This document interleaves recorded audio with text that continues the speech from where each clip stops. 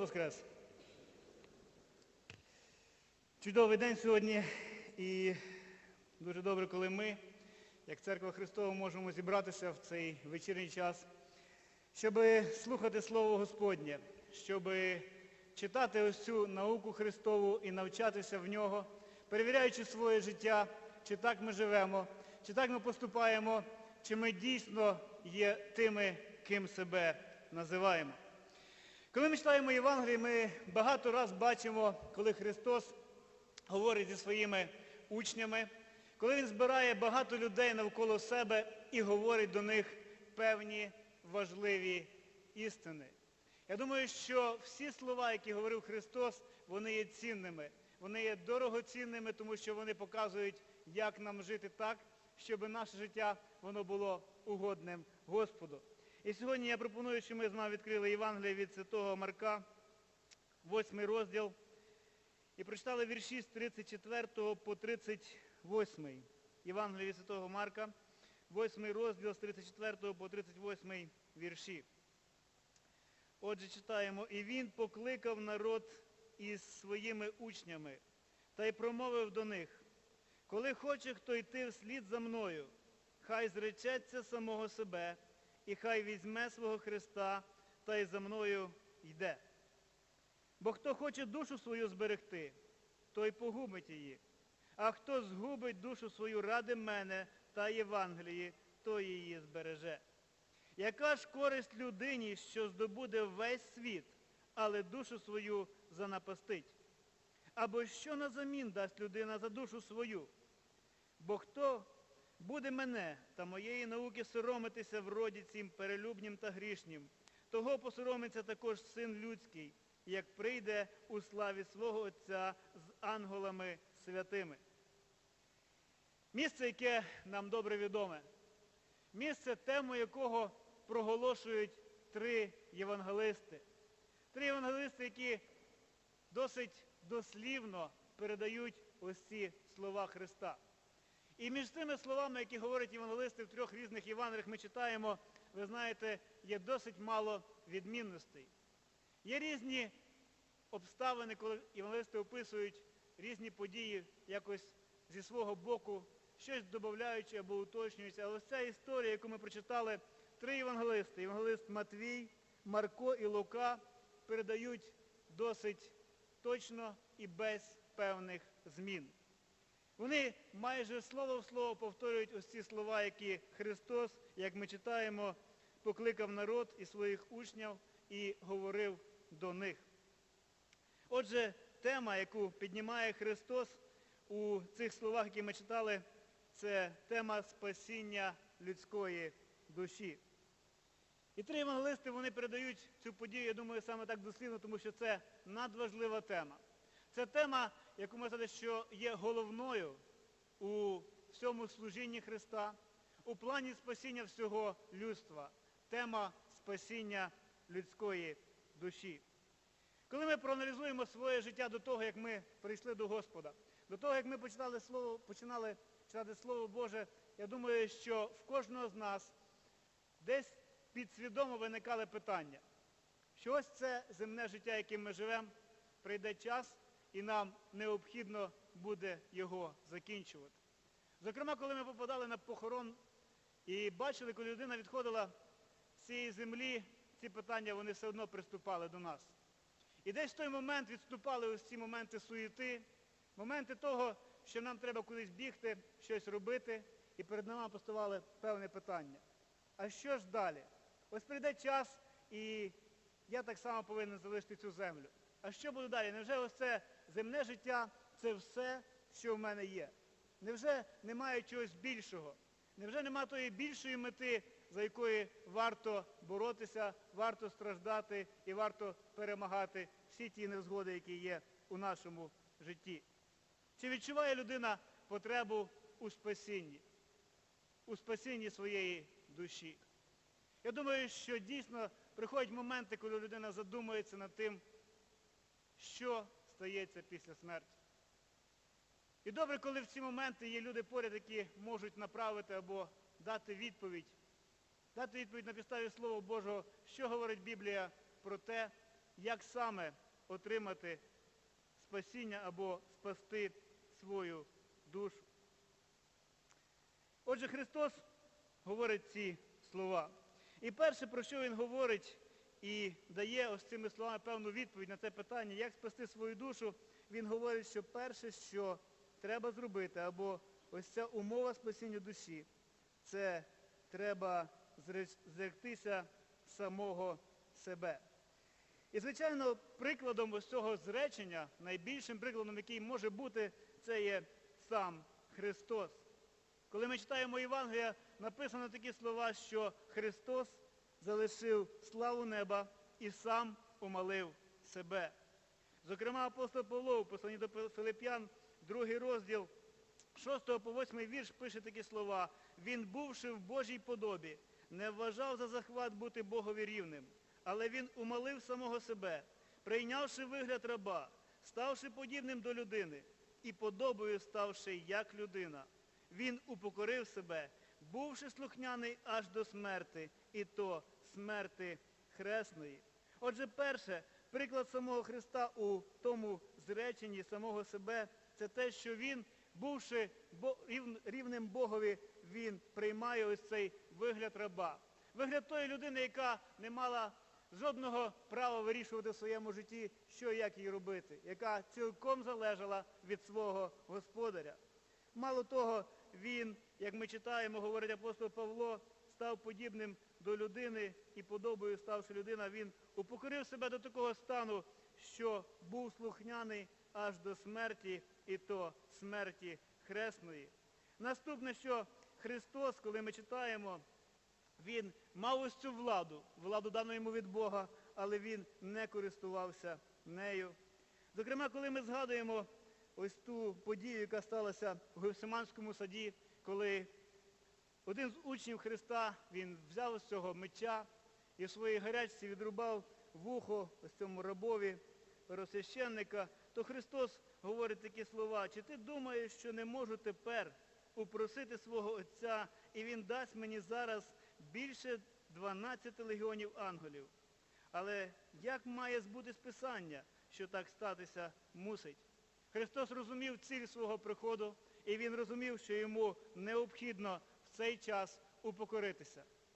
Йому необхідно було зректися ось цього високого звання, яке він мав, будучи Божим сином, щоб виконати те, для чого він був посланий на землю. Ще один приклад Христа полягає в тому, що він, як Божий син, говорить такі слова, що він має владу прийняти життя і має владу віддати життя. І разом з цим він робить вибір, добровільний вибір віддати своє життя. І цим так само зречується самого себе. Оце приклади для нас того, як Христос виконує ось ці слова, коли Він говорить, що коли хто хоче йти вслід за мною, хай зречеться самого себе. Коли ми читаємо Євангелію, ми так само пам'ятаємо про одного багатого, багату людину, яка звернулася до Христа таким питанням, про яке я вже сьогодні згадував, яке подібне до цього питання, що станеться зі мною після смерті, або учителю добрий, як мені спадкувати вічне життя. Чи пам'ятаєте, що сказав Христос? Він його направив до закону Мойсеєву, до того закону, який повинен був виконувати єврейський народ, і казав, що знаєш заповіді, не вбивай, не чини перелюбу, не кради, не свідкуй неправдиво, не кривди, шануй свого батька та матір. І ось ця людина відповідає, учителю, це все виконав я ще з малку. Ісус же поглянув на нього з любов'ю і промовив йому, одного бракує тобі, іди, розпродай, що маєш, та вбогим роздай, і матимеш скарб ти на небі. Потому приходь та й іди вслід за мною, узявши Христа. А він засмутився тим словом і пішов, зажурившись, бо великі маєтки він мав. Здається, ось людина, яка виконує закон Божий, яка виконує ось ці заповіді, які дані були Мойсеєм, але одного бракувало йому.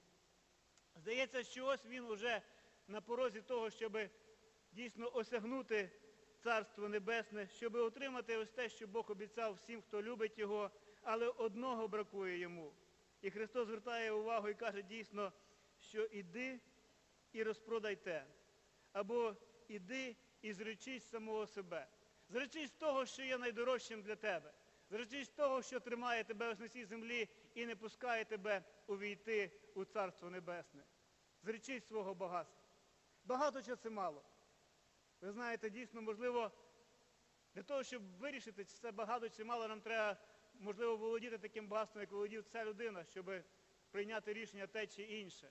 Але ми читаємо, що ось цей багата людина, яка, на яку Христос написано дивився дійсно як з любов'ю, йому бракувало ось цього бажання піти і зректися ось цього останнього, останнього, що заважало йому, щоб осягнути Царство Небесне або вічне життя.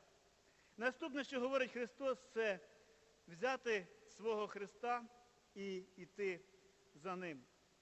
Знаєте, ці слова є такими, що е, показують умову, одна з яких повинна бути у учнів Христа. Зокрема, коли ми читаємо Євангелію Луки, 14 розділ, то там так само Євангелист пише, що одна з умов, яку Христос говорив для тих своїх послідовників, було те, щоб вони могли зректися себе і нести свій хрест, інакше вони не могли бути учнями Христа. Так само певним чином, е, і коли ми читаємо 1 Петра, 2 розділ 19 21 вірш, ми бачимо приклад. Приклад, про який говориться, апостол Петро говорить, як приклад Христа, який був, був залишений для нас, щоб ми так само виконували цю обітницю, взяли свого Христа і йшли за Христом. І він пише такі слова, бо то вгодне, коли хто через сумління перед Богом терпить недолю, не по правді страждаючи. Бо яка похвала, коли терпите ви, як вас б'ють за провини? А коли з мукою терпите за добрі вчинки, то це вгодне Богові. Бо на це ви покликані, бо і Христос постраждав за нас і залишив нам приклада, щоб пішли ми слідами Його. Отже, подібно до Христа, взяти Христа це означає відчувати нерозуміння оточуючих. Оточуєш тих, хто є біля нас в нашому щоденному житті. Нерозуміння рідних, коли ми йдемо за Христом. Нерозуміння близьких, ті, хто є поряд з нами, можливо, навіть наших дружин або чоловіків. Нерозуміння співробітників на роботі через те, що ми є не такі, як вони. Взяти свого Христа це так само означає страждати не по заслугам, так як Христос постраждав. Не зробив нічого вартого смерті, але був засуджений. Взяти свого Христа означає бути зненавиджений через святе життя. Знаєте, ось це життя, коли ми живемо в цьому світі, дійсно ми з допомогою Христа можемо вести чисте життя, воно докоряє тих, хто є поряд. І це викликає в них заздрість. Та як колись ось це життя Христа і його вчинки викликало заздрість у фарисеїв, які заздрили Ісусу, що його слухає народ, який прагнув до Христа. І Христос сказав, як мене ненавиділи, так і вас будуть ненавидити через ім'я моє. Наступне, що говорить Христос, це спасти свою душу означає спочатку її погубити. І якщо ми подумаємо над цим твердженням, то в ньому криється якесь поти- протиріччя. Як можна здобути щось, загубивши щось, начебто то саме душу. Але коли ми подумаємо більш глибше, то ми розуміємо, що погубити душу це може означати, перш за все, можливість фізичної смерті за свою віру. І це було продемонстровано багатьма послідовниками Христа протягом всієї історії християнства. В тому числі і в наш час, знаєте, гинуть багато християн, які зазнають переслідування за свою віру у багатьох країнах світу. Погубити свою душу це означає повна переоцінка цінностей свого життя. Або іншими словами, це означає народитися згори від води і духа. Це означає вчинити гідний плід покаяння, про який говорив Іван Хреститель, коли він казав, хто крав, більше не кради, не оскаржуйте неправдиво, не кривдить нікого. Те, що було цінним для мене вчора, не має тієї цінності зараз, коли я вже йду за Христом. Багато з того, що приносило мені задоволення, чим я жив, за що переживав, втратило свою цінність.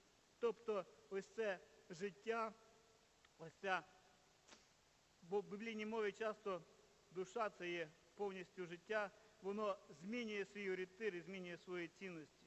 Тепер я інший. Я знаю, в кого я вірю, я знаю, за ким іду, і я вірю в те, що мене чекає попереду. Моє спасіння забезпечено Господом мого життя.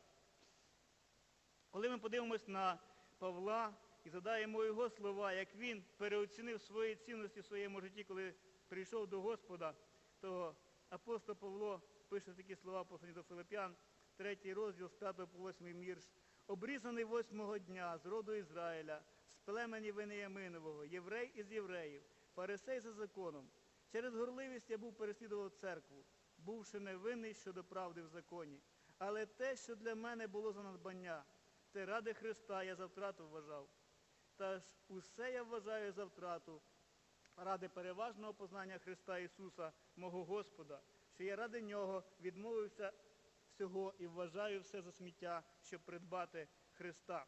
Ось це той приклад дійсно людини, справді, яка стала другою, яка втратила ось це душу або втратила те життя, яке було до зустрічі з Христом, і отримала зовсім інше життя, наповнене зовсім інакшим змістом, або навіть протилежним змістом. Коли він був ворогом для віруючих, він став для них провідником. Він став тим, хто вів за собою церкву.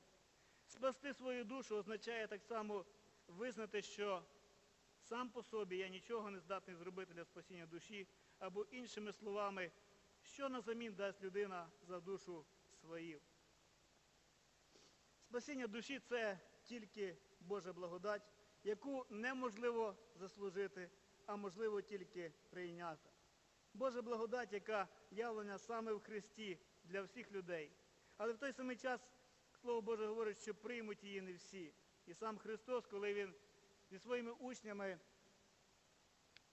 на таємній вечері споживав цю останню Пасху за єврейськими традиціями, він сказав ці слова, що це кров моя нового заповіту, що за багатьох проливається на відпущення гріхів. І звернемо увагу саме на це слово за багатьох. Вона проливається за багатьох. Ви знаєте, вона пролита за всіх, але проливається за багатьох, тому що Бог, Він знає наперед, що далеко не всі люди, не все людство, воно скористається цієї можливості, щоб отримати спасіння своєї душі. Тільки жертва Христа є підставою прощення гріхів і спасіння душі. Людина, чим би вона не володіла на землі, і яку владу вона би не мала, хоча до цієї влади всі прагнуть, вона нічим не може заплатити за прощення гріхів і за спасіння своєї душі. Знаєте, ми часто можемо бачити усе бажання людей купити собі прощення певними щедрими пожертвами на потреби церкви тої чи іншої, будовою величних храмів. Навіть останнім часом можна бачити, як дуже заможні люди, зокрема наші українці, вони будують свої приватні храми при своїх помешканнях, знаєте, такі приватні церкви для себе. І це стало відкритим зараз. Але все ось це, що робить людина, вона є марною, тому що Іван від Луки ми читаємо, що життя чоловіка не залежить від достатку маєтку його. Спасти свою душу означає визнавати себе християнином у всіх сферах життя земного. Про це говорить 38-й вірш. Тому що якщо ми навіть живучи в цьому, як написано, перелюбному і грішному світі, не визнаємо своєму віри, то ми недостойні того, щоб Христос, коли прийде, Він визнав нас за своїх дітей, за своїх учнів. Для чого Христос звертає увагу учнів на цю деталь? Не соромитись науки Христа в цьому житті або в цьому світі. Здається, немає нічого засудливого в тому, щоб жити собі тихо і мирно у своєму куточку. Навіть так собі радіти своєму спасінню десь собі тихенько. Я нікому не заважаю. Що в цьому поганого можемо сказати? Просто мені якось незручно, коли говорять про питання віри. Я просто деколи промовчу. Я трохи не так вірю, як всі вірять, і я ніяковію. Людина може сказати, ну в мене в кінці кінців такий характер. Я не є лідер, я такий тихенький. Але Бог через своє слово попереджає, що якщо ви засоромитесь, то і я посоромлюся вас. Бог закликає нас до активного життя в вірі. Церква покликана до проголошення Євангелії. Апостол Павло писав, що він не соромиться Євангелії, бо вона сила Божа на спасіння кожному, хто вірує. І якщо ми віримо в Євангелію, ми не можемо перебувати в цьому стані сором'язливості. Бо від нас, як говорить Слово Боже, повинні виходити ріки живої води. Ми повинні світити, а світити це означає горіти, горіти для Господа. Ми покликані йти. І всі ці поняття, поняття активних дій, вони протилежні до сором'язливості по відношенню до Христа і Його науки. Якщо ми соромимось Євангелії, тоді виникає питання, чи ми йдемо взагалі Христом і чи пізнали ми взагалі Христа. А якщо не пізнали, то про спасіння душі не може бути ніякої мови. Сьогодні Господь через ці слова дає нам можливість перевірити своє ходження за Христом. Дає нам можливість або підкріпити нашу віру у питаннях спасіння своєї душі, або застерігають нас від цього сором'язливого життя у грішному світі і втрати нашої безсмертної душі для вічності у Небесному Царстві. Ми маємо ще цю можливість поправити своє ходження за Христом. Ми маємо можливість дійсно утвердитись в тому, що наша душа, вона спасенна, і наше спасіння, воно побудоване на Христі. Не нашою силою, не нашою мудрістю, але перемогою нашого Господа і нашого Христа. Амінь. Будемо молитися.